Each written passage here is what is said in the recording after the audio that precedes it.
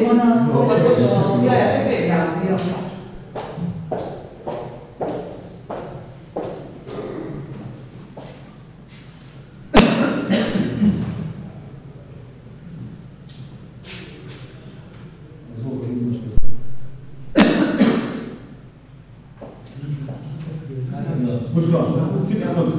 Ja, lepo, samo požgi me, požgi.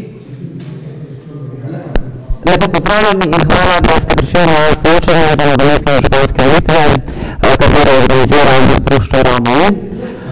Uh, najprej bi želela pozdraviti vse vas prisotne, kot seveda vse tiste, ki nas v živo spremljate preko Radio Laser, preko Facebooka, live streama ali eh, preko televizije Sloven Gradec. Najprej sta kandidata le še dva,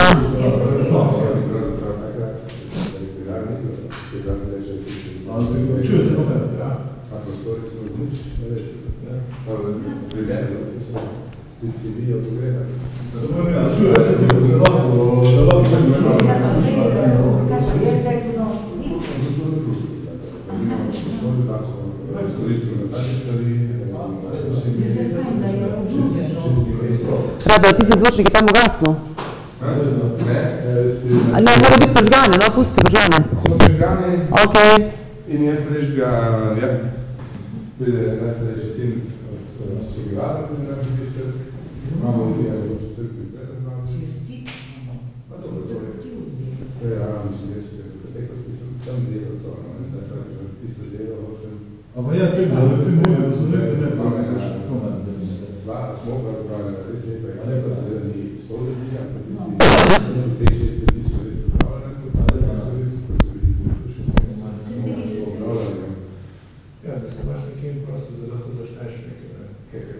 že dobro, no, nekdo bi prišel, ampak moraš nekaj prosto, ne, najemna, predlože, mogoče Aha, nekaj jasno. zanat. Mislim, tu imaš prosto lahko, no,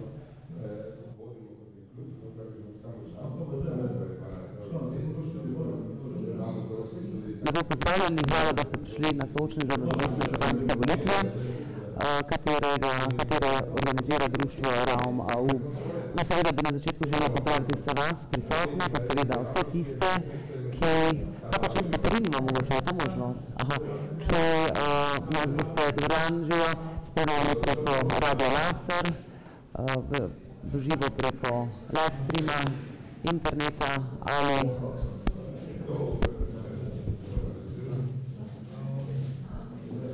Dober dan.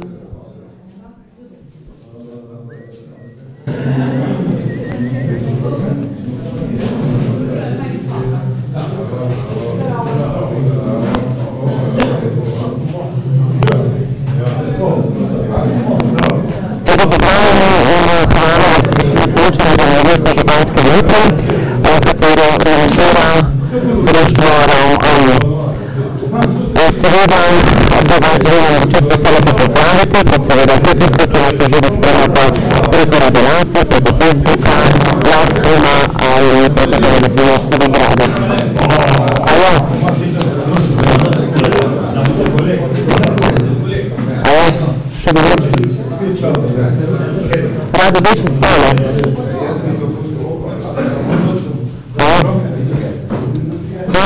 Imamo malo šum, eno, eno evro.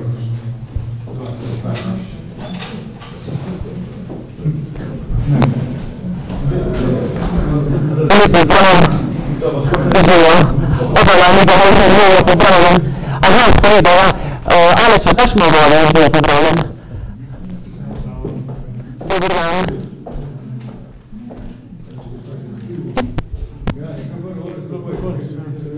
Uh, ne se kar izvolite, še tlele. Aha.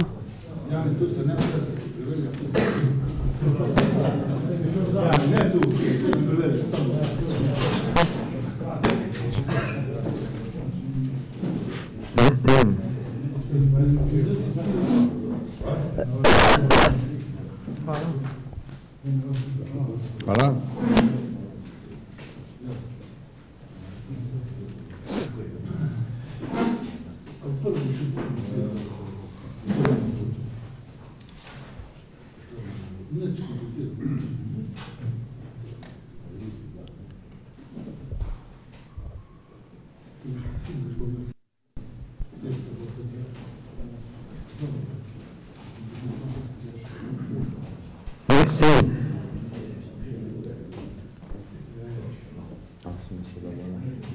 Biti polno.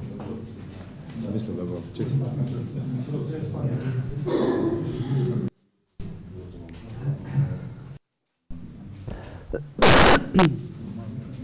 A še jaz? Kaj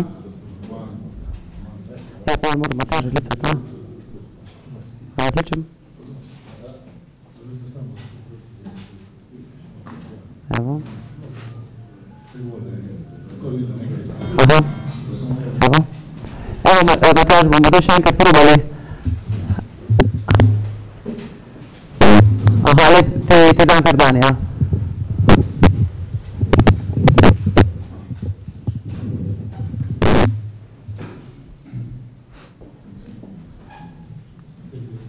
Lepo pozdravljeni hvala, da ste prišli na soočenje za nadomestne županske volitve, eh, katero organizira društvo Ravmov. Seveda pozdravljam vse vas prisotne, kot seveda vse tiste,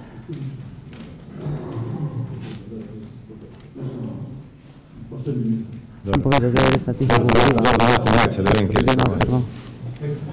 Eh, Kot seveda vse tiste, ki nas eh, spremljate preko Radia Raser, preko live streama Facebooka ali preko televizije Slovengradec.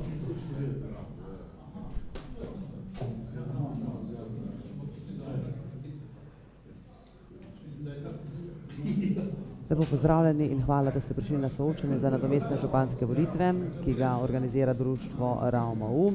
A Seveda bi želela najprej pozdraviti vse vas prisotne, kot seveda vse tiste, ki nas spremljate v živo preko Radio Laser, Facebooka, live streama ali televizije Slovengradec. A ti me pa dobro, dobiš super? Ja, zdaj, zdaj ne morem zdaj tako tultno, mislim itak, ja.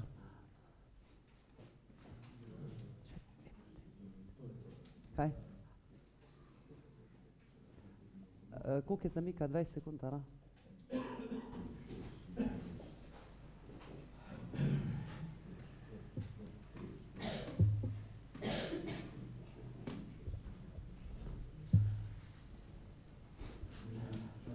Ja, lepo pozdravljeni in hvala, da ste prišli na soočenje za nadomestne županske volitve, ki ga organizira društvo, kulturno društvo RAUMAU. Je v redu? Super. Vprašaj za mig 20 sekund.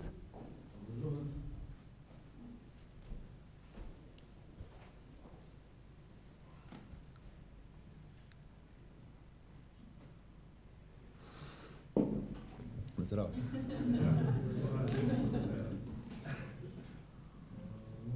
Tako, nama privošli kaj druga, ne? Kaj, še enkrat. Lepo pozdravljeni. 1, 2, 3, 4, 5, 6, Ja, 7, če ni 8, kaj 9, drugega, kaj 10. češ. 10, 9, 8, 7, 6, 5, 4, 4, 3, 2, 1, 1, 2, 3, 4, 5, Jaz, 6, jaz imam tam pivo 7, na trgu, 8, samo če 9, hočete, lahko gremo 10. tja. 10, 10, 9, 8, 7. Uh, čez eno minuto točno. Andrej, tole Ja. kraj, le. Andrej, 20 sekund. Ja. Živijo, živijo. Opala, hojla. Uh, le, vse so že stoli, vzemite si, če ne v ta prvi vrsti. Dober dan. Aleš, a daš tam še stole na razne?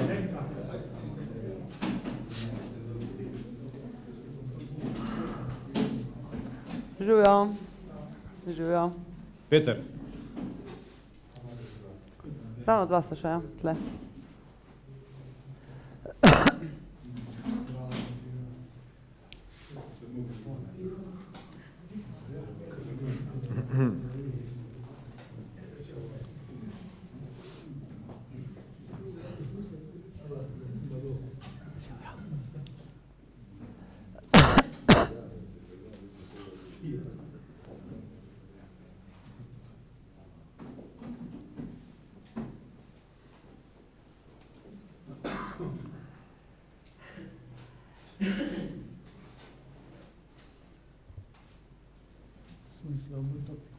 Gremo? 20 sekund.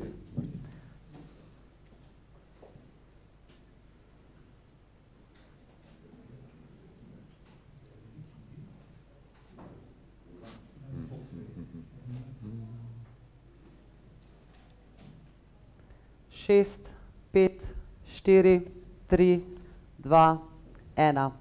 Lepo pozdravljeni in hvala, da ste prišli na soočenje za nadomestne županske volitve, ki ga organizira kulturno društvo RAMU. Seveda lep pozdrav vsem prisotnim, kot seveda vsem tistim, ki nas v živo spremljate preko Radia Laser, preko Facebooka, preko live streama ali preko televizije Sloven Gradec. No, ker sta kandidata le še dva, pod zaporedno številko ena gospod Ksandi Javornik in pod zaporedno številko dve gospod Andrej Čas, tokrat ne bosta imela omejitve eh, pri svojih odgovorih, vendar bi, vendar bi vaju temu nakljub prosila, da z odgovori nista predolga. Lepo pozdravljena in dobrodošla torej na soočenju. Eden od vaju bo vsekakor novi župan mestne občine Sloven Gradec, torej nadomestil bo nekdo od vaju gospoda Matjaža Zanoškarja, kar pa v tem trenutku vsekakor ni lahka naloga, saj so vse občine v sila slabem finančnem stanju, no da ne omenjam, da so se kar tri občine že soočile z rubežniki in blokado računov. Eh, Tudi predsednik računskega sodišča gospod Igor Šoltes opozarja, da so vse občine, tudi naša mestna občina Sloven Gradec, tik pred finančnim zlomom. Pa me zanima, kaj lahko en župan sploh stori. Gospod Javornik, izvolite. No, župan nima neke čarobne palice, da bi uh, pač lahko storil vse, kar bi želel. Lahko pa stori marsikaj. Če ne bi bil tega mnenja, verjetno niti ne bi kandidiral. Kaj lahko stori? Najprej menim, da občina Slovengradec sicer je zadolžena, ampak zadolžena je v okviru zakonskih možnosti.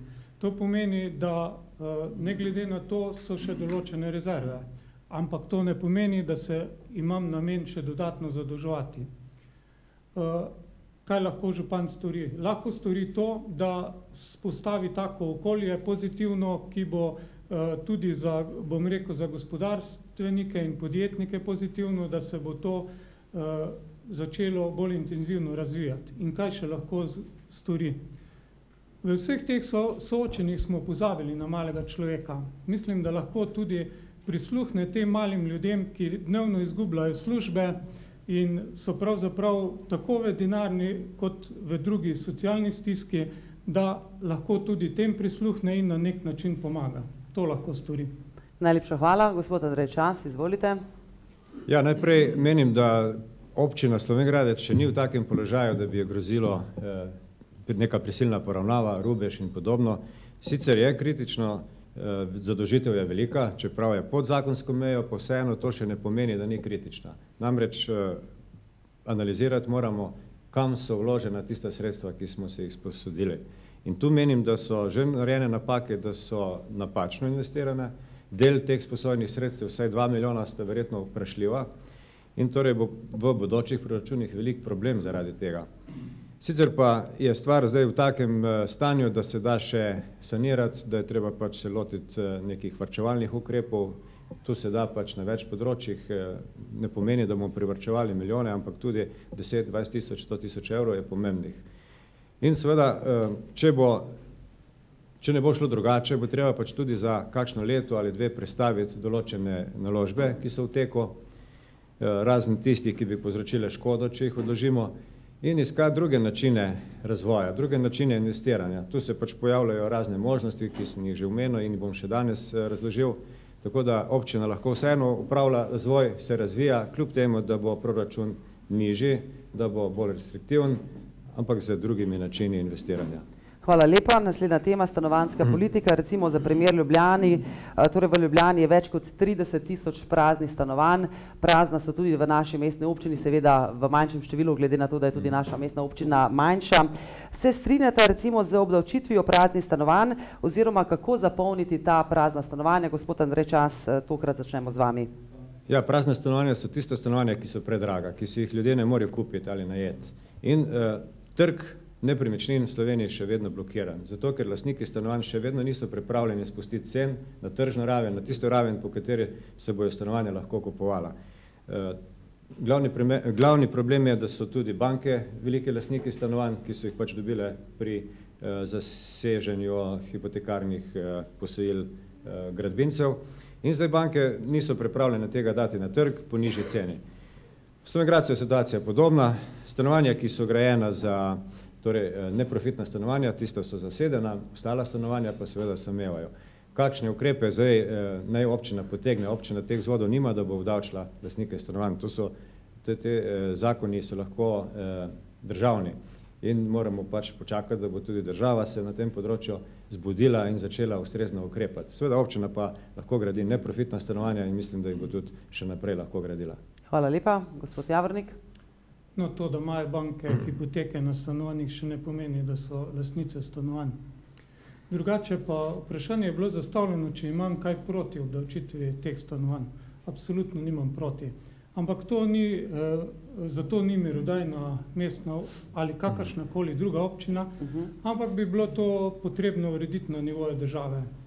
Res je, da stanovanja trenutno ne grejo v prodajo, da so cene preveč navite, da na drugi strani je financiranje strani bank iz slabih, zaradi slabih izkušnjo, izkušnj iz preteklosti omejeno in to je potem en tak začaran krog. krog. Mogoče bi ga ravno to neka obdavčitev tudi presekala. Kaj pa vemo? Ja, kratka replika. Glede lastništva bank, menim, da NLB ima precej stanovanj v svojem lastništvu in še vedno jih drži, ne vem za koga in za kako dolgo. Ne govorimo o banki Koper, ampak o drugih bankah. Točno Ne, ne govorimo o tistih, kjer je hipoteka, tiste, ki so že zasežene. Banka ne more zaseči neposredno stanovanje, če ima gor hipoteko. Dobro, kakorkoli, eh, obstajajo pravni akti, lahko si jih preberemo. Gremo naprej, kako financirati projekte. Ponudila vama bom tri možnosti. Prosim, da eno izbereta in potem uh, seveda tudi to izbrano možnost utemeljite. Torej, kako financirati projekte? A. Brez zadolževanja ob le najnujnejših projektih. B. Izkoriščanje možnosti dodatnega zadolževanja. Ali C. Izpeljava projektov s pomočjo zasebnih partnerjev. Vsekakor zadnje.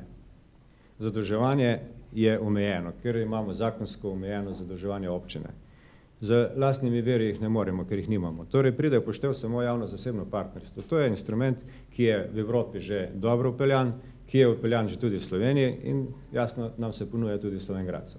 Gre za to, da se s temi načini gradnje javne infrastrukture eh, lahko izvedejo v krajšem času, javni interes je zaščiten s tem, da se pač eh, gradi po tržnih cenah, da se najema po tržnih cenah in da so jasno določena z zakonom, ki je, šel, ki je prišel na plan dve- eh, 2006. leta in natančno določa, kako so urejena razmerja med javnim partnerjem in zasebnim partnerjem.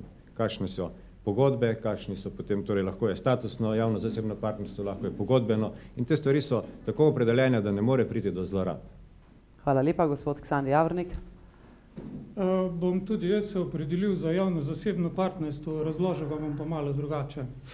Javno-zasebno partnerstvo da in sicer tam, kjer uh, zasebni partner dobi ta sredstva, ki jih je vložil nazaj skozi recimo uh, določene prihodke, ki jih ima od uh, tiste infrastrukture. Bom navedel primer. Če recimo se zgradi parkirna hiša, skozi parkirnino se vračajo recimo ti, eh, pač ti eh, vložki, ki jih je dal zasebni partner. Medtem, ko je pa recimo izgradnja vrca nekaj povsem drugega. Izgradnja vrca pomeni to, da sicer, kot smo se že o tem pogovarjali, občina dobi vrtec danes, plačuje ga naslednjih 20 let, prvič nikoli ne ve, koliko ga bo plačala, drugič eh, je tu, kar so ugotovili v skandinavskih državah, največja možnost korupcije, zato ker so te pogodbe pač stvar dogovora med recimo občino, ki je eh, najemojemalec in investitorjem, tako da javno-zasebno partnerstvo da, ampak še zdaleč ne vse posod. Gospod Ja. Čas, ja. Eh, Nekako se ne morem strinjati s temi pomisleki. Eh, Poznam te razprave v skandinavskih državah, ampak tam je to v veljavi že 50 let in oni bodo zdaj to pač nagradili z novim prijemom, ker tam je občutek za korupcijo nekaj čisto drugega, kar pri nas. Če bi skandinavci nam pogledali pod prste, kako delamo zdaj, bi rekli, pojte v javno-zasebno partnerstvo, ker boste naredili s tem velik korak. Torej ne moramo mi eh, soditi po tem, kaj oni menijo o korupciji, ker je pri nas ta standard čisto drugi. Torej javno-zasebno partnerstvo omogoča transparenten in eh, za družbo spremljiv način gradnje javne infrastrukture. Torej vse, kar je v javnem interesu, imamo dve obliki. Lahko je eh, zasebnik eh, gradi javne projekte, lahko pa javni interes, torej javna, eh, lokalne skupnosti država gradi v zasebni sferi, če je za to javni interes in če je javni interes zaščiten. Te stvari so zakonsko zelo zaščitene in urejene. V praksi pa to še zdaleč ni to. Investitor vzame kredit od banke, na, tisto, na tisti kredit si zaračuna dodatne neke stroške. Potem je recimo v veliko primerih je investitor tudi gradbeno podjetje, ki skozi ceno izgradnje spet si zaračuna dodatne stroške. In na koncu, ko so ti stroški nekako potegnjeni skupaj na 20 let, je to taka cena, da se to ne da primerjati z nekimi tržnimi cenami, o katerih govorite in tako naprej. Nekako ne drži. Gremo dalje. Če vprašamo mi naše občane, a hočejo imeti čez dve leti urejene ceste, vrtce in vse tisto, kar rabimo, ali bomo čakali 20 let na to izgradnjo, se bojo odločili za javno-zasebno partnerstvo. Tu bi pa jaz imel eno vprašanje. Na kakšen način bi se gradile ceste skozi javno-zasebno partnerstvo? Skozi javno-zasebno partnerstvo se lahko tudi delajo gospodarske javne službe. Ceste, kako bi se gradile? Vse to je to, ne? To za mene ni odgovor. Ja. Primer lahko navedem iz Velenja, kjer se je javni, zasebni partner zavezal s pogodbo v treh letih izgraditi 17 km novih asfaltnih cest, preplastiti 18 km cest in seveda vse odmeriti in vzdrževati in tako dalje. Pogodba je narejena na 15 let, občina plačuje uporabnino in vse lepo gre. Tako, ja.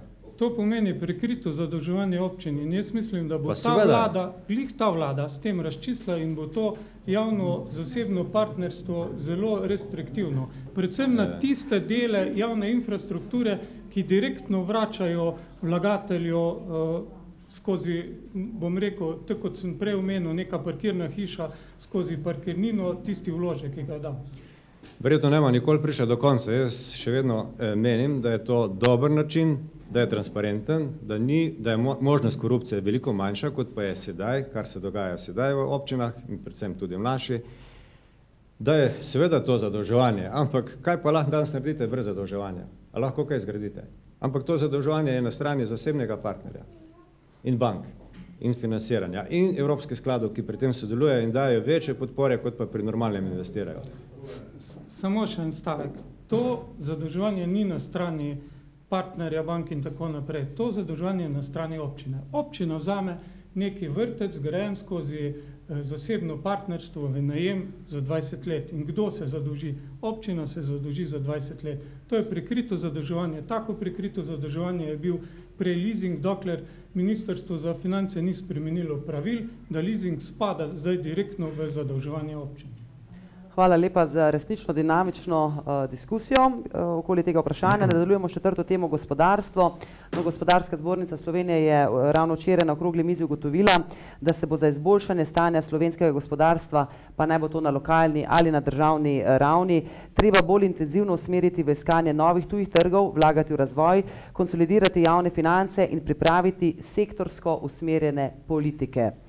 Kje vidva vidita možnost torej za dvig gospodarstva? Zdaj začne, se upravičujem, zgubila sem vrsti red, mislim, da vi, gospod Sr.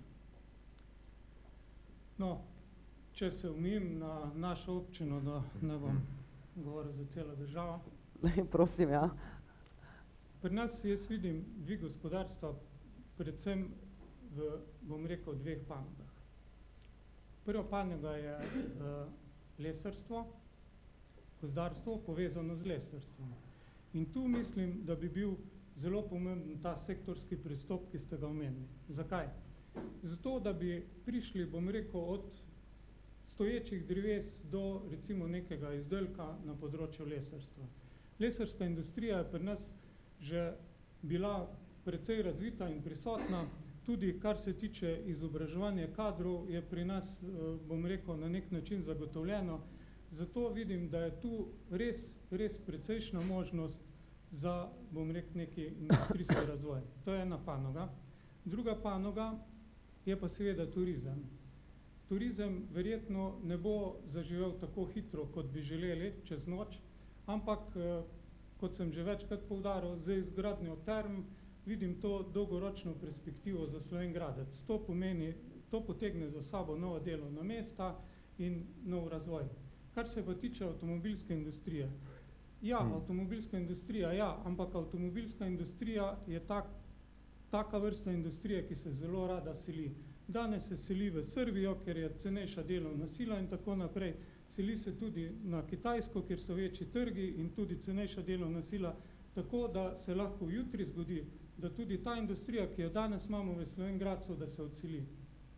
Hvala lepa, gospod Andrej Čas. Ja, jaz vidim priložnost predvsem v tem, da zaženemo gradnjo infrastrukture, ki jo rabimo, s tem bomo takoj domače gradbeništvo, zdaj zakaj govorim domače, zato ker preko eh, javno-zasebnih partnerstv lahko damo prednost domačim izvajalcem, pri javnih razpisih pa ne. Eh, O tem lahko tudi razložim kasneje. In ko bomo zagnali ta segment eh, gospodarstva, se bo seveda tudi delovna mesta pojavila in ko bo zgrajena boljša infrastruktura, bomo seveda imeli bolj vabljivo, bolj atraktivno okolje za naložbe, za priseljevanje in tako dalje. In potem bo seveda stvar lažje stekla. Seveda, les se ključi v gradbeništvo normalno in lesarstvo lahko zaženemo samo preko zagona gradbeništva. Eh, Dalje, eh, avtomobilska industrija, je Slovengradec ima neke prednosti iz uh, zgodovine in se, še vedno obstaja nek kapital v znanju, torej v kadrih so, uh, imamo ta kapital in pa v menedžerih, ki so na tem delali. Zdaj seveda, ta industrija res beži, enkrat sem, drugič tja, ne glede na ceste, grejo tja, kjer je cenejša delovna sila. Vendar, mi moramo zdaj najti tisto avtomobilsko podporno ali pa dopolnilno industrijo, ki je že na tehnološko višji ravni. Vse imamo primerje iz Idrije, kjer delujejo zelo visokotehnološka podjetja, ki delajo za avtomobilsko industrijo in tam ni bojazni, da bi šli na Kitajsko, ker enostavno teh stvari ne znajo delati. E, glede turizma pa term, pa tole. E, prej, ko smo govorili o javno-zasebnem partnerstvu, jaz lahko podkrepim te zadeve iz občine Pliber, ki nam je najbližja. Pojte si pogledati eh, mladinski hotel, pojte si pogledati športno halo, vse, kar tam imajo, je zgrajeno na ta način. In če se naši občani odločijo, da tega nočijo, pol tudi mi tega ne bomo delali. Drugo, terme. Tudi to me je zanimalo, kako stvari stojijo, ker toliko nekih eh, demagoških ali pa populističnih fraz v teh termah. In zato sem se jaz pač poskušal najbolj poučiti o tem, tako da sem obiskal eh, Zdravka Počevalška, direktorja Termo Olimija, in v sproščenem pogovoru, ki je trajal kaj svem tri ure, smo se o tem toliko pogovorila, da mi je zdaj stvar jasna. Ne. Terme so sicer priložnost za Sloven Gradec, vendar še zdaleč ni projekt tako daleč, da bi bilo upravičeno tam graditi infrastrukturo, da je bilo upravičeno odkupiti 15 hektarov, ki, kar je trikrat več, kot imajo terme Olimija. Ne? 5 hektarov tam, tu pa 15. Dalje, eh, najbolj škodljivo pa bi bilo, da bi s tem nadaljevali, da bi gradili nek bazenček, ki ne vem komu bo služil, razen mogoče lastnikom parcel, ki so na tem mestu. In treba je poiskati neke rešitve za to, da ta vrelec tople vode, ki je sicer zelo slab, 3,6 litra na sekundo, in bo potrebno narediti še pet vrtin, da dobimo 15 litrov, koliko je potrebno za normalno obratovanje term. Ko bomo vse to imeli, pa ko bomo imeli koncept, pa ko bomo imeli zasebnega partnerja ali investitorja, takrat pa prosim, dajmo narediti infrastrukturo, ki je potrebna. Hvala lepa.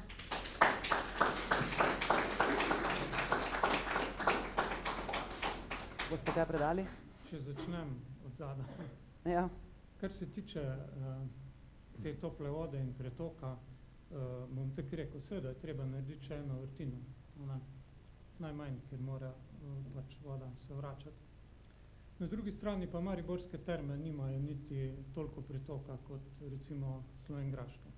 Kar se tiče Olimja, z Olimjem se je mestna občina Slovengrad že pogovarjala o investicijah, če bi bili pripravljeni investirati. Odgovor je bil nekako takšen, da bi bili pripravljeni vse skupaj menedžirati, voditi, ampak investirati pa zaenkrat ne. Prej je bilo omenjeno, da na javno-zasebnem partnerstvu niso potrebni razpisi. Pri javnem zasebnem partnerstvu so prav tako, bom rekel, javna sredstva. In če so prisotna javna sredstva, morajo biti uh, javni razpisi, da imajo pravzaprav vsi enake možnosti sodelovati pri tem. Hvala lepa. Ja, imam repliko, dovolite. Izvolite. Začnem spet od zadaj. E, zakon pač o tem točno govori, zdaj brez veze, da se mi dva pričkama, treba ga prebrati. Glede term, fontana je bila omenjena. Ravno zato je fontana prodana, ker je ni šlo. In prodana je bila skupaj z štirimi hoteli, mariborskimi, za 29 milijonov evrov. Torej, tu je treba pač vedeti, da je trg zelo zahteven da imamo v Sloveniji sicer v termalnem turizmu 40% prihodkov od 2 milijard, ki jih naredimo s turizmom. To je zelo pomembno. Ampak te terme, ki delujejo, se prekleto borijo za trg. Produkte, ki jih imajo, plasirajo na tuji trg, domači je komaj 15%, in če mi naredimo nove terme, ja kam bomo svoje produkte prodajali in kakšni bodo ti produkti? Hvala lepa. Naslednje vprašanje uh, je za vas, gospod Čas, postavil ga je uspešen uh, podjetnik in uh, zapisal je takole. V svojem časopisu, gospod Čas, pišete o socialnem podjetništvu in gospodarskem razvoju, kjer je nakazano, da bi občina kupila poslovne prostore, odpisala davke, oprostila komunalne prispevke ter na to te poslovne prostore dajala podjetnikom. Ali ni to vračanje k socializmu, vendar na veliko bolj krut način, občini bi ostali minusi, privatniku pa plusi. Seveda bi privatnik zaradi socialne bede držal delavce na minimalni plači, no, uh, gospod je navedel recimo Boxmarkt v Radljah, kar pomeni minimalne davke in prispevke tudi za občino kot državo in krati še večje nezadovoljstvo ljudi. Pa me zanima, kaj bi odgovorili temu. Kolikor, pardon, kolikor sem razumel to vprašanje, se v bistvu navezuje na prispevek o socialnem podjetništvu. In, uh -huh. in tule jaz ne razumem, kje je te podatke našel, ker socialno podjetništvo je razloženo zelo nazorno, tu gre za popolnoma drugo stvar in vseh teh stvarih, ki jih je omenjal, ni govora. Pri socialnem podjetništvu vemo, se že izraz pove, da gre za nek način reševanja socialnih vprašanj, torej gre za integracijo marginalnih skupin, ki jih skozi te, ta socialna podjetja vrnemo na trg, usposobimo in tako dalje. Socialna podjetja vemo, da delajo na dveh trgih, na trg, mislim, delajo na trgu in delajo na netržnem delu, kjer gre za vladne programe in so tudi javne podpore. Torej preko javnih podpor podjetje dobi sredstva, da zaposli teže zaposljive osebe, te namesto, da doma čakajo in dobivajo socialno podporo, dobijo neko socialno funkcijo, se usposobijo, integrirajo in tako dalje. Torej, to je namen tega. V drugih stvareh pa jaz nisem našel uh, v naših zapisih. Torej, ne govorimo o tistem, kar je gospod povedal. Hvala lepa. Gospod Javornik, bi želeli morda kaj predati, ne? Uh, naslednja tema, aktualna, torej v Sloveniji smo ponovno prišli na nove cene naftnih derivatov. Uh, recimo direktor službe vlade za podnebne spremembe, gospod Jernej Stritih, pa je ob tem, torej teh novih cenah dejal, da so više cene goriv ključne za znižanje emisij toplogrednih plinov in s tem tudi za spremembe navad ljudi.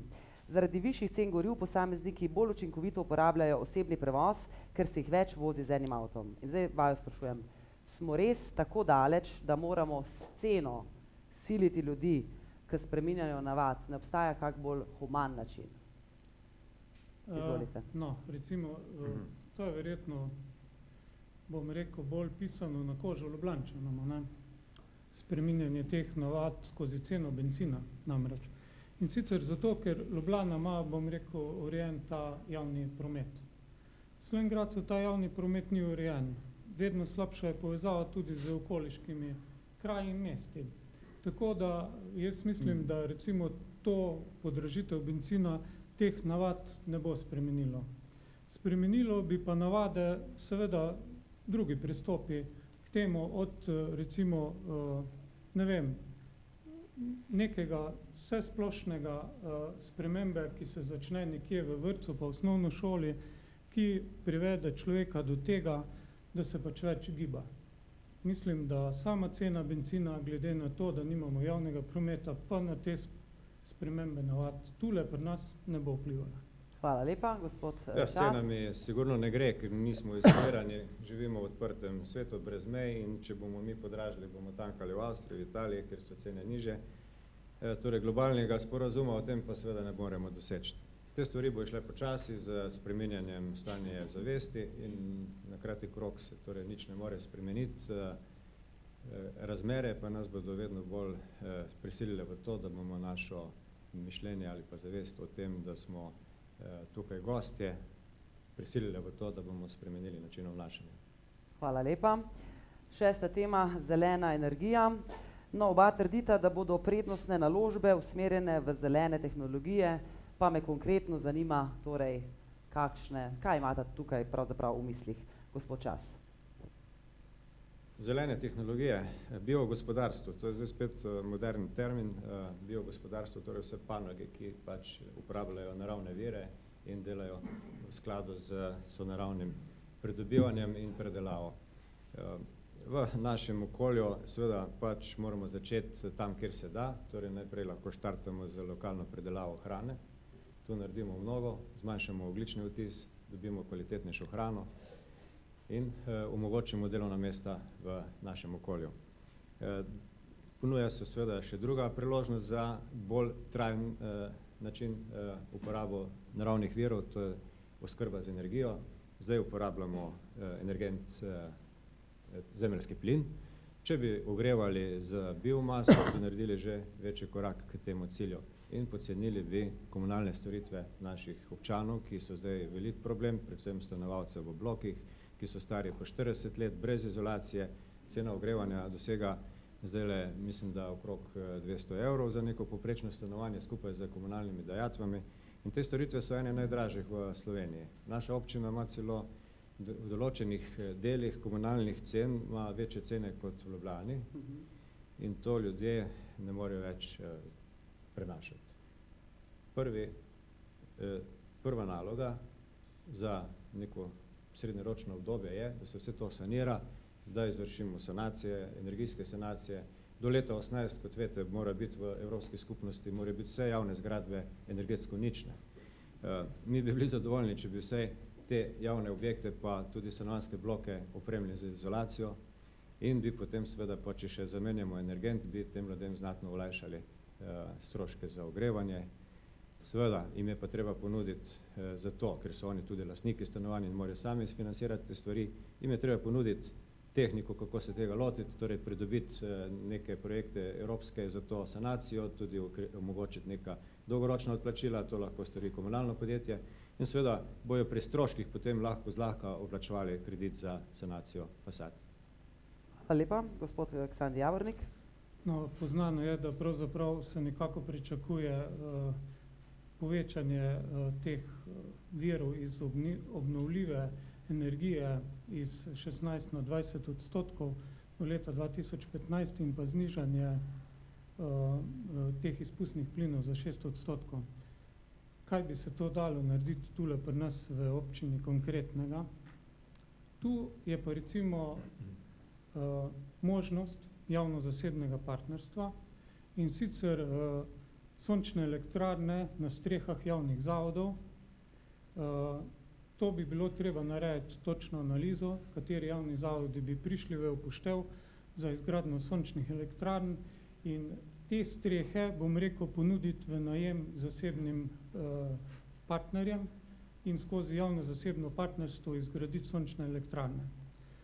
Naslednjo stvar, ki bi se dala uresničiti, bom rekel, relativno hitro, je kurjenje na biomaso in sicer v recimo v vaških jedrih. Pri tem bi pa k temu uh, tudi pritegnali, bom rekel, te javne zavode, ki se v teh vaških jedrih nahajajo. To imam v mislih predvsem neke uh, vrtce in šole, da bi pač uh, uh, se ogrevali pač na ta način.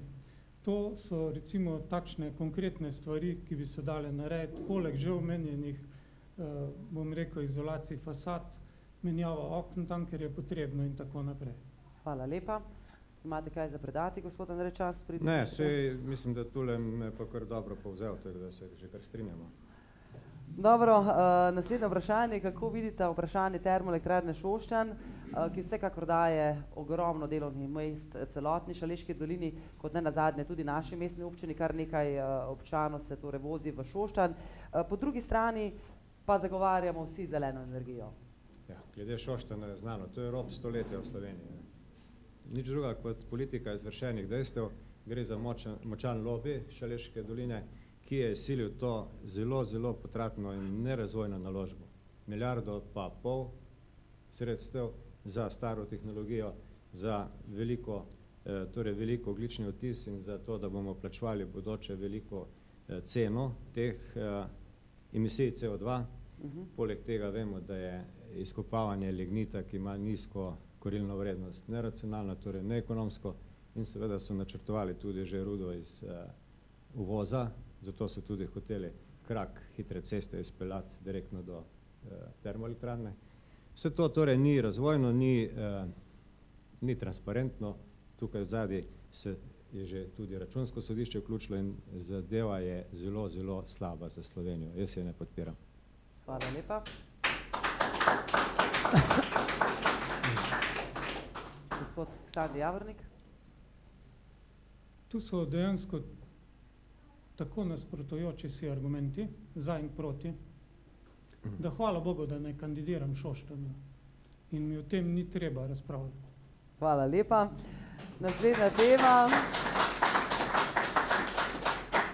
Uh, dosti krat torej slišimo uh, evropski denar, ali se črpa, ali smo ga dovolj črpali. Torej zanima me, ali menite, da je občina do sedaj črpala dovolj evropskega denarja, če boste dejala ne, me seveda zanima, kje bi ga lahko črpala več in morda uh, o tem, uh, kako boste organizirala službo za črpanje uh, evropskega denarja. Vemo, da ta urad že sicer obstaja, ampak je omenjen, namenjen le za občinske projekte in recimo kot ideja, zakaj se ne širi tudi za podjetnike.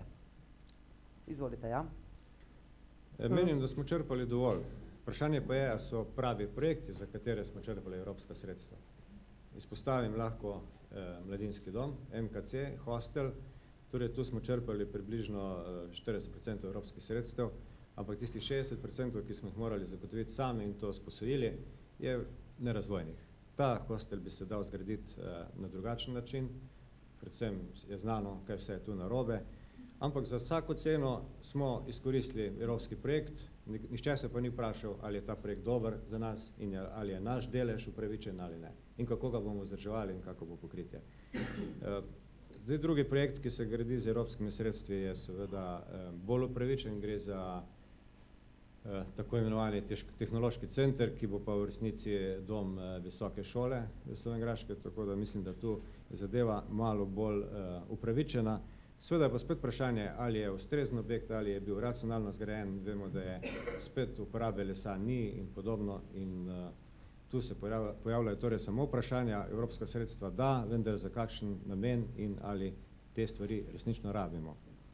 Projektna pisarna, ki deluje za evropska sredstva, v tem zdaj ne morem soditi, ker ne poznam uh, teh uh, zaposlenih, ki delajo, torej a so sposobljeni ali niso, verjamem, da so in mislim, da lahko ne, ne, to... to sploh ni bilo vprašanje Ja, o ali v Torej, občini zakaj ali- se ne razširi recimo določen urad Menim, da te podjetnike? stvari dela tudi razvojna agencija in druge eh, inštitucije, tudi za podjetnike, neka pomoč je.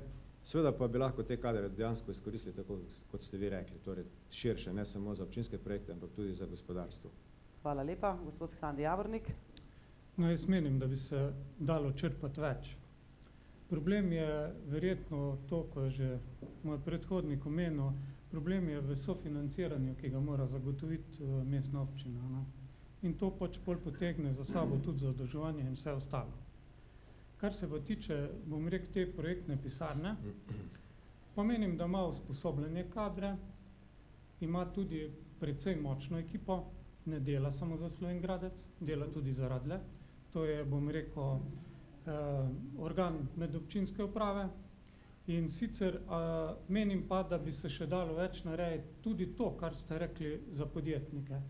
Nekaj sicer se dela preko RRA-ja, ampak absolutno premalo, ali pa bom rekel drugače, RRA konec koncu pokriva 12 občin eh, in bi ta projektna pisarna lahko boljše odigrala svojo vlogo in to je tudi moj namen, da v primeru, če bom tam, je projektna pisarna ena od bistvenih, ki bi se mogla pač na določenih področjih, kot je recimo ta pomoč glih podjetnikom, pa mogoče še komu, zato ker tam so pravniki, lahko tudi pomagajo ljudem, ki si urejajo uh, uh, recimo v naselju S8 uh, ta stanovanja, opis lastninske pravice in tako naprej. In mislim, da bi glih ta pisarna lahko odigrala veliko večjo vlogo, kar se tiče mesta Slovengradec. Hvala lepa. S tem smo zaključili to tematiko, gremo dalje kmetijstvo oziroma samo skrba. Malo sta že spregovorila o tej tematiki. Torej oba kandidata ocenjujeta, da bo morala lokalna skupnost na področju kmetijstva več pozornosti nameniti samo skrbi. Kje vidite pogoje za to oziroma kako pravzaprav pospešiti samo skrbo, kako si predstavljata, je samo skrba potem le tržnica ali kako. Sedaj začne gospod Ksandi Javornik, ja. Samo skrba. Kmetijstvo pri nas je večinoma usmerjeno v živino rejo. To pomeni predelavo mesa in predelavo mleka. Medtem, ko je samo skrba oziroma pridelava vrtnin, bom rekel na Koroškem, ne samo v mestni občini, na repo Slovenije. Če pogledamo recimo predelavo vrtnin nekje v Pomurju, Prekmurju, zaostajamo celo do, mislim, da nekje sem računal, do 30 krat. Ne. Pri nas je večinoma pridela, pridelave teh vrtnin porabijo kmetije za lastno samooskrbo. Tako da je tu, bom rekel, veliko prostora za uh, dodatno uh, tudi za dodatni razvoj, recimo pri kmetijah, za dodatne dohodke, za dodatna delovna mesta, seveda je pa treba zagotoviti celotno verigo. To pomeni, da je treba na drugi strani zagotoviti tudi trg. Tu je pa tržnica, kot je že bilo omenjeno, s tem, da bi tržnico bilo potrebno organizirati na en drugačen način, da bi recimo bila res tržnica, na kateri bi se občani srečevali pri, bom rekel, nakupovanju te doma pridelane zelenjave. Na drugi strani bi bilo treba v to verigo vključiti eh, po eni strani tako javne zavode, te omenim zato, zato ker tu ima občina bolj direktni vpliv, da jih lahko vključi, to mislim predvsem šole in vrtce, da se zagotovi ta zdra, zdravo pridelana hrana v šolah in vrtcih, in seveda tudi v prodajno verigo teh domačih trgovin. Tu je pa občina z svojim vplivom že, bom rekel, na nek način omejena. Samo pod vprašanje, recimo tržnica, odlična ideja, ampak realno, glede na to, da gledamo na vsak cent,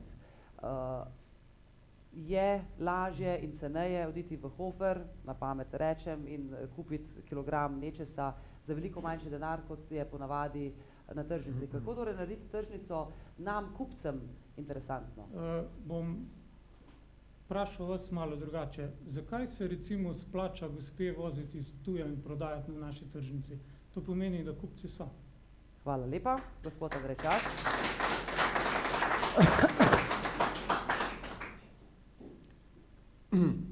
Prvi predpogoj, da sploh govorimo o predelavi hrane in o lokalnem prehranskem sistemu, ki ga je lepo povzel eh, spoštovani kolega Sandi Javornik.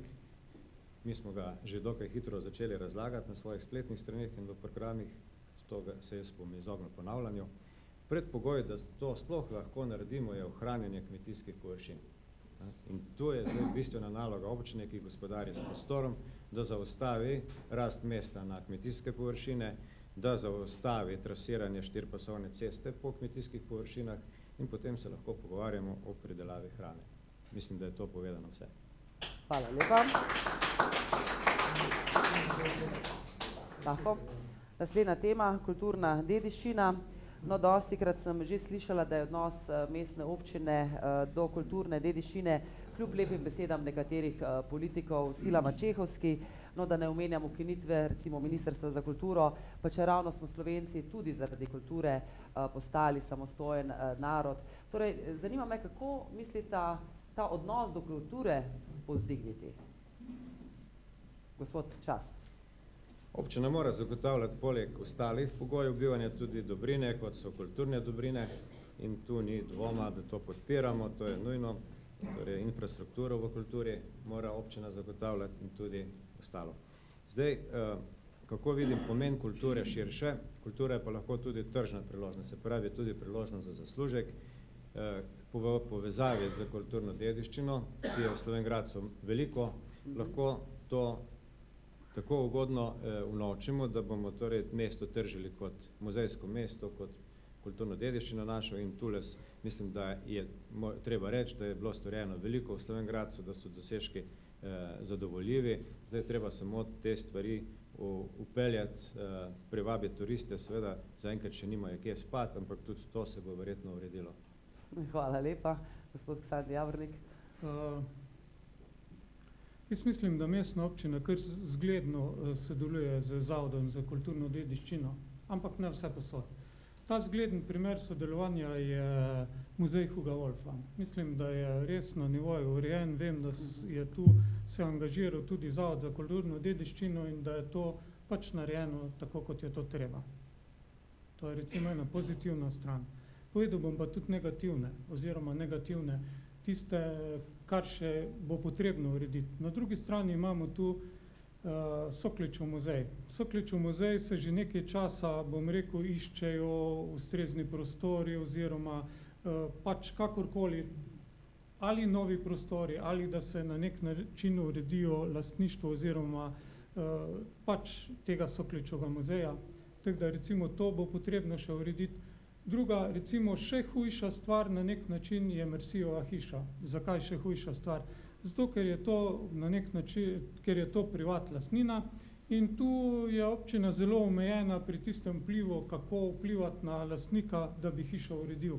Hiša pa ima zgodovinsko vrednost od same izgradnje do recimo tudi oblikovanja znotraj, do stropa in tako naprej. Tako da tu je pa recimo, bom rekel, en velik problem, ki ga občina kot sama bo zelo težko uredila. Ampak nasplošno menim, da občina Slovenj Gradec dokaj dobro skrbi za svojo kulturno dediščino. Hvala lepa. Želite kaj predati? Uh, sta razmišljala recimo, koliko finančnih sredstev bi lahko namenila različnim uh, vizionarskim iniciativam, uh, društvom, uh, ki bi recimo pripomogle k dvigu uh, torej kulturne dediščine in kulture kot take, gospod Ksandi Javrnik. Zadnjič sem se pogovarjal z, bom rekel, temi, ki delujejo v Mladinskem kulturnem centru, okrog delovanja, okrog, tudi okrog finančnih sredstev, ki jih nekako zagotavljajo se preko razpisov in tudi kar jim zagotavlja mestna občina Slovenj Gradec. Jaz sem jim dal en nasvet in sicer takšen, da ne glede na to, kdo bo župan, morajo, ko se pogovarja z mestno občino, pač priti do tistega človeka, ki nekako je tisti, ki jim lahko nekaj zagotovi. Povedal sem jim, da ne smejo obupati pri prvem referentu, ko se recimo sestavljajo proračuni, zato ker stvar je včasih mogoče takšna, ne, ker želje so večje kot, uh, kot so možnosti in pol, če recimo eden od teh zaposlenih na občini, recimo nek referent, bom rekel, te nuje mladih ne zna prav razložiti, ta sredstva v proračunu niso zagotovljena. In ne smejo ostati pri prvem referentu, ker mislim, da lahko gredo dlje, da konc koncev tudi pokličejo župana tja k njim v mladinski center, da mu predstavijo dejavnost, da on recimo sam vidi, kaj se dogaja, da, da je to recimo velik spekter recimo nekih dejavnosti in tako naprej in potem je tudi lažje zagotoviti neka sredstva za delovanje. Najlepša hvala. Gospod Andrej Čas, izvolite. Društva in podobne organizacije, ki bi pač predstavljale zanimiv program za občino, bi seveda financiral po tem programu. Če bi bil program zanimiv in v splošnem interesu, tako za te skupine, ki ga predlagajo in tudi za širše eh, občane, bi seveda se lahko njim podelila občinska eh, sredstva iz proračuna na podlagi programa in odobritvi občinskega sveta. Projektna pisarna v občini bi tudi pomagala tem društvom pridobivati evropska sredstva, kajti vsi taki projekti se dajo financirati s pomočjo evropskih sredstev. Torej gre za programe, ne morem govoriti na pamet. Hvala lepa. Eh, Sledijo vprašanja različnih aktivnih občanov, eh, ki so mi eh, vprašanja predhodno poslali preko elektronske pošte. Sprašujejo, začnemo z gospodom Časom, vi ste na vrsti, kolikšno volilno udeležbo eh, pričakujete in ali eh, pričakujete podporo strank ter seveda, če ja, katerih? Pričakujem okrog eh, malo čez 50, med 50 in 55 odstotkov volivne udeležbe. Eh, od strank eh, so me podprli Nova Slovenija, stranka Zares, eh, SDS in eh, v po, pogovorih smo tudi še z drugimi strankami, ki bodo izrazile tiho podporo, medtem ko se še o tem, ali bo podpora javna, niso odločili.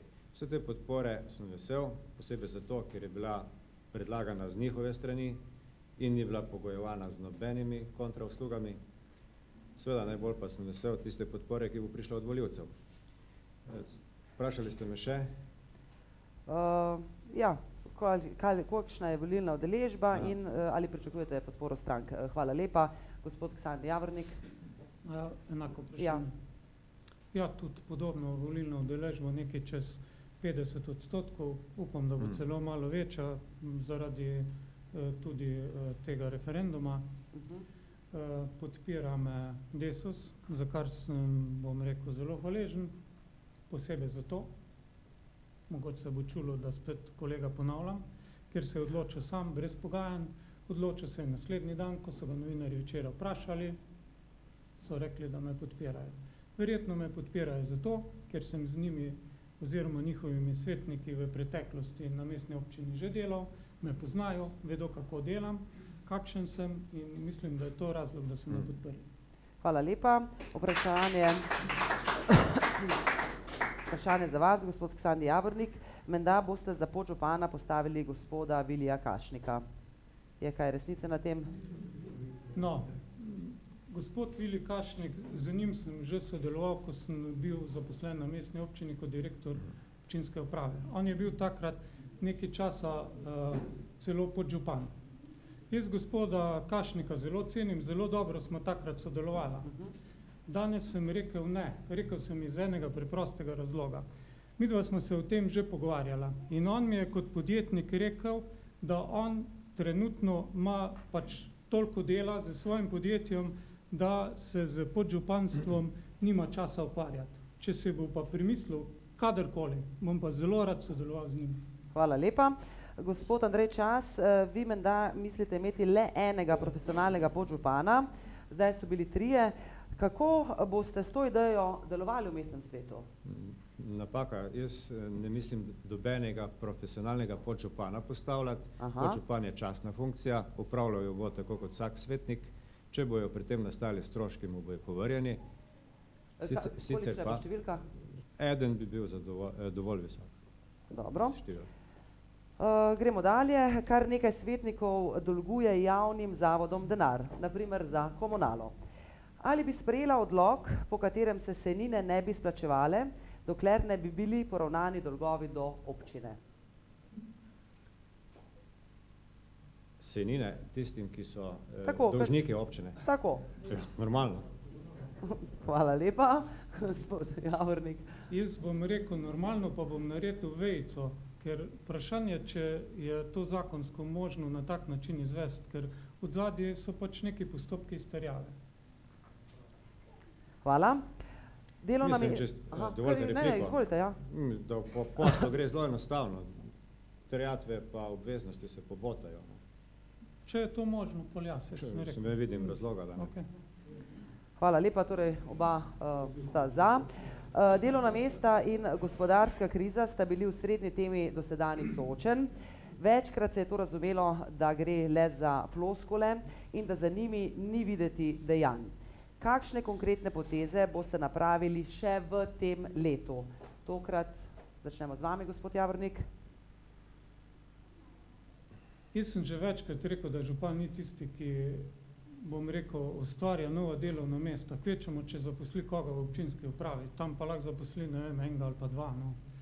Ampak župan je pa tisti, ki lahko preko svojih služb in z svojimi službami naredi klimo, ki privabi eh, vlagatelje v naše mesto.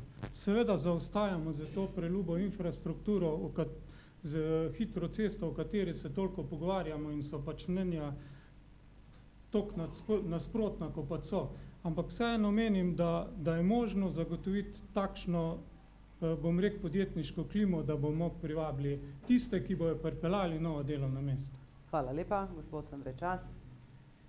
Najprej mora občina dati zgled, kako se z denarjem dela. Torej, če bo pri sebi postavila jasne kriterije porabe denarja, varčevanje in racionalno investiranje, bo s tem tudi dala dober zgled eh, občanom in eh, privabila, torej dala signal gospodarstvu, da se tu nekaj dogaja. Drugič, z svojimi naložbami lahko spodbudi domačo porabo in domačo gospodarstvo.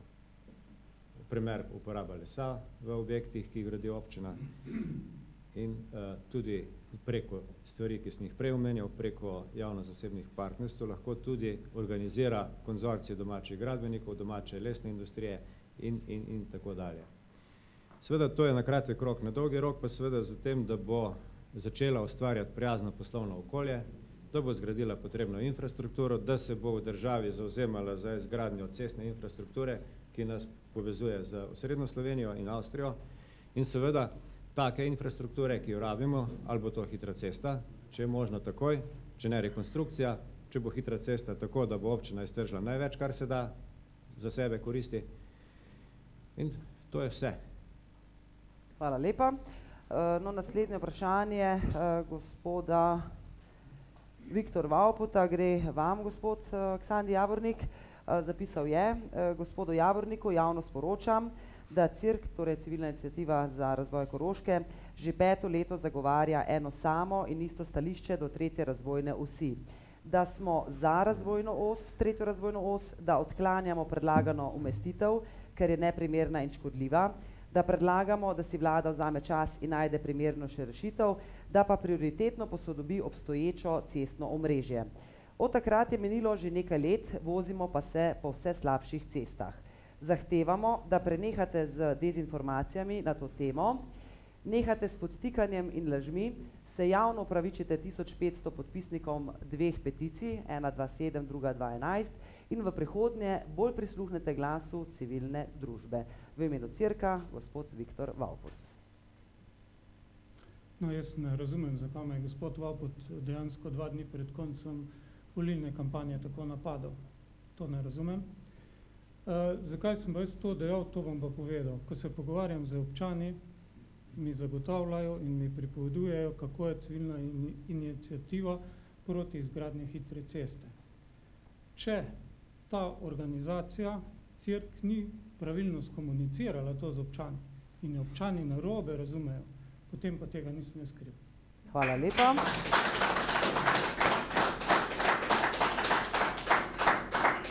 In še Ne verjamem, da občani niso pravilno razumeli. Že 1500 podpisov pomeni, da so pravilno razumeli. Ne gre za nasprotovanje hitri cesti, gre za napačno umestitev, ki je zaradi trmoglavljanja občinskih uradnikov, urbanistov in župana ostala taka, kot je.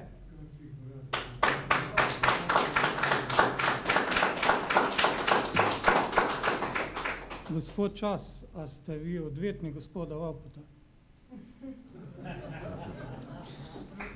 Mislim, da gospod Vapot ne rabi odvetnika. A ste vi gradbenik, da ste tako dobro podkovani? Iniciative, ko nasprotujete tej cesti. Javnomnenjska raziskava ni na medije pokazala, koliko ljudi je za to trase in koliko je proti tej trasi. Prosim, ne se s tem ne vede. A, lah, a lahko pokažete to javno mnenjsko raziskavo? Cesto hitro, če bi jo že imeli, bi bila prepozna, ne pa da jo vmešate čez 20 let, gospod čas. Smo že čuli? Od Hvala gospoda lepa. Vrčkovnika, enak stavek. še mogoče bi želela kaj predati. Uh, glede na uh, časovno omejitev, še zadnje vprašanje. Uh, ali mislite kot župan vključiti v delegacijska potovanja tudi predstavnike podjetništva? Gospod Andrej Čas. Ja, absolutno. Na ta potovanja morajo iti predvsem gospodarstveniki, tudi eh, recimo direktor galerije, kulturniki, v manjši meri pa župan. Hvala lepa, gospod Ksandi Javornik. Jaz se z kolegom strinjam in če bom to ponovil, bom mi spet rekel, da ga povzemam. Bom. Dobro, hvala lepa. Uh, seveda, resnično hvala obema in seveda želim vam v nedeljo, da bomo imeli vsi srečno roko. Hvala vam za vašo pozornost, seveda hvala tudi vsem tistim, ki so nas spremljali v živo. Uh, še enkrat pa hvala za tehnično pomoč uh, Dani Vaupotu, Samo Cokanu, Alešu Ganglu ter ne nazadnje tudi Kulturnemu domu. Hvala in v nedeljo modro odločite. Srečno. Hvala lepa. Hvala lepa.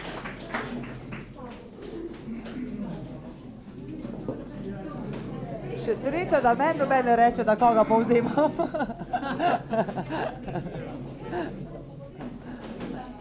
Ojla, živijo.